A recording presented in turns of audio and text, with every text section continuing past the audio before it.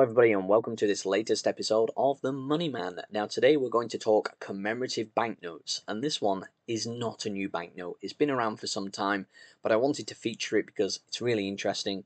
It's a really quite easy banknote to get hold of, and it's cheap. So, if you're a new collector or collecting on a budget, I think this is a fantastic one for you guys, and it's got a lot of really rich history behind it. So, without further ado, let's have a look at the obverse of the note that I'm going to feature today. So here it is.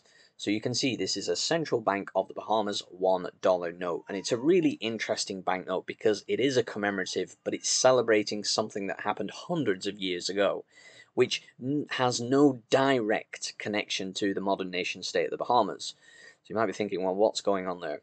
Now, the history of it is complex. I will try to paraphrase it as much as possible. But you can see this note is kind of unusual because it's dominated by this huge vignette of Christopher Columbus. Now, how is he connected to the modern nation state of the Bahamas? Well, if you look over to the left side, you can see it says Bahamas, first landfall, 1492, quincentennial. Okay, so we're talking 600 years ago, something happened, first landfall what is going on there? Well, I will show you a map in a moment that will explain what is going on with that. But you can see that this is a wonderful commemorative banknote and it's pretty much celebrating or commemorating um, the events of Christopher Columbus's first landfall in 1492. So do keep that in mind. Looking at the design of the banknote, I absolutely love the aesthetics. Really nice banknote indeed. And this one was produced by the Canadian Banknote Company, so you might see some slight design similarities with some of the older Canadian banknotes. So there we go. So a map of the general region I will show you in a moment, but what I want you to focus on here is the serial number. You can see we've got a wonderful radar serial number. This is my own banknote, of course. Um, you can take it for granted that whenever I show banknotes in videos, I do own them. They are my images of my banknotes. And I will always say in the video if I do not own the images or I do not own the banknotes featured in the video. So that's just a rule of thumb, just to let you guys know. But this one has got a nice radar serial, hence why I picked it up.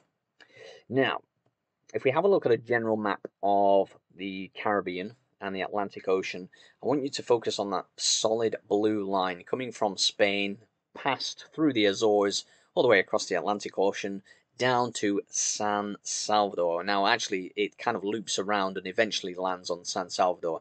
Now, San Salvador is supposedly um, one of the islands of the current nation state of the Bahamas. Now, I say supposedly because there is some debate as to what that island actually is, because I don't believe um, the name of the island that was given by the Spanish is not the current name used by the nation state of the Bahamas now.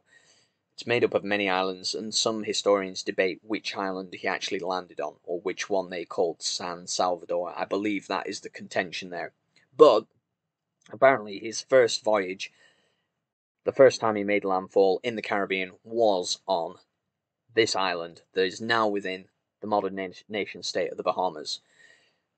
And of course, Christopher Columbus's voyages brought an entire wave of generation after generation of European colonialization for all the good and bad. And there was probably quite a lot of bad. There was a lot of bad that came with it, hence why Columbus can be a contentious figure.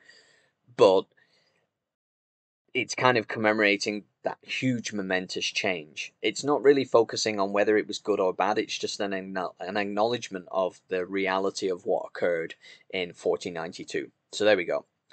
And you can see we've got this uh, wonderful um, uh, depiction um, here of uh, Columbus uh, apparently landing on San Salvador with the flag of Castile in his hand and his uh, entourage in tow. And you can see there, there were natives on the island actually.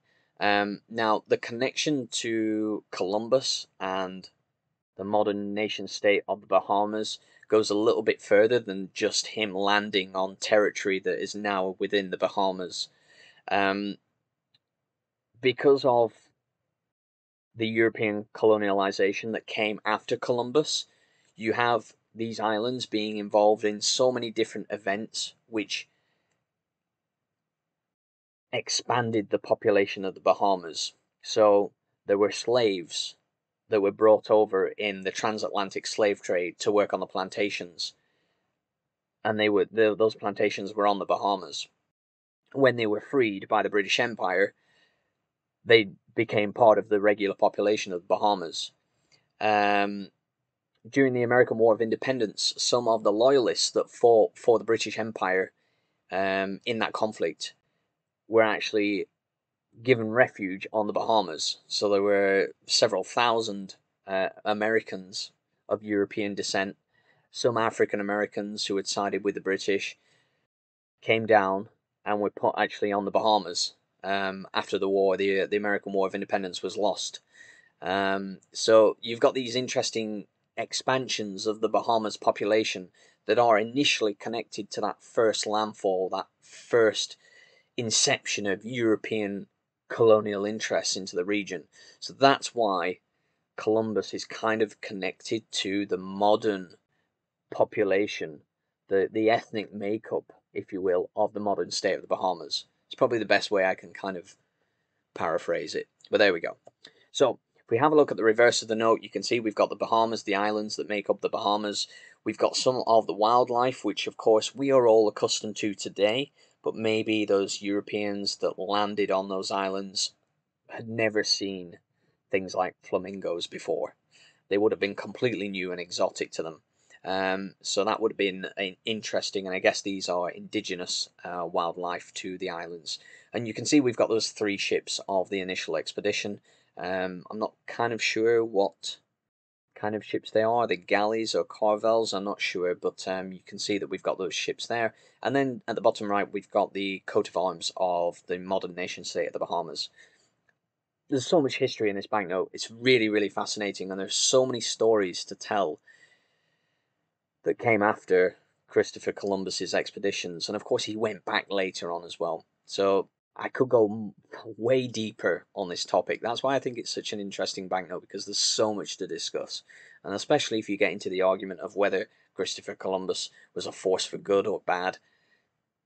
That's a whole argument. Actually, I don't even want to touch with a ten foot barge pole to be honest, because it's messy. But you can understand why there are lots of layers to this. Let me know what you think about this banknote. Do you think it's interesting? Do you think it's worthy of celebration? Do you think it's a celebration of fact, or is it actually celebrating Christopher Columbus himself? I would love to know what you think about this one. I find it really, really interesting. So thank you so much for watching. I'll see you guys on the next one. It's the Money Man signing out for now. Bye bye.